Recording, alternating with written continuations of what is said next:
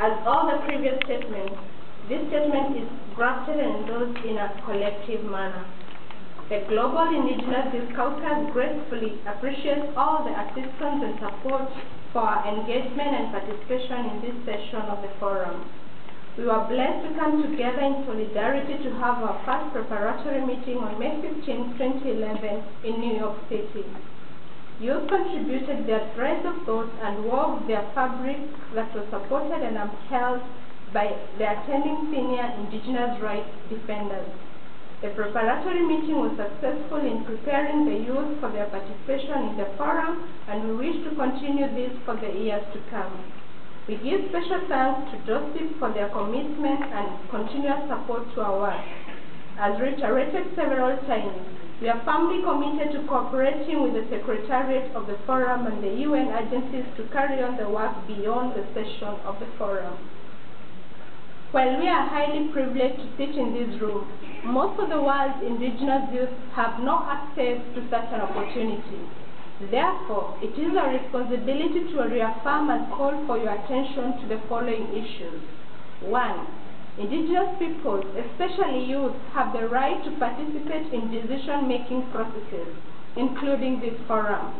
We reaffirm that indigenous nations shall be the ones to be looked upon in this forum, not nationalities defi defined by modern sovereign states. Delegates traveling to the forum shall be protected from being detained, kidnapped, and denied entry due to visa. A credential political interference, and other hidden agendas. Indigenous people's right to participation, assembly, and freedom of speech and travel shall not be infringed by any forces. We call for transparency, due process, and legitimacy to appeal for the indigenous people's organizations that are denied access to the forum. Without providing these measures of accountability, the forum cannot live up to the expectation of indigenous people. Two, unrecognized and underrepresented indigenous peoples shall be given special attention. No indigenous person shall be excluded from international human rights protection, even if they are not recognized as indigenous people either domestically or internationally. The need to include such populations under international and domestic indigenous rights protection in accordance with Article 3 of the UN Declaration on the Rights of Indigenous Peoples. Given that the Chittagong Hill Tracts region has since been a heavily militarized region due to the non-implementation of the CHT Accord, it is now a serious concern that the indigenous youth human rights to participate through raising their voice for the implementation of their rights has been violated through means including arbitrary arrest and harassment.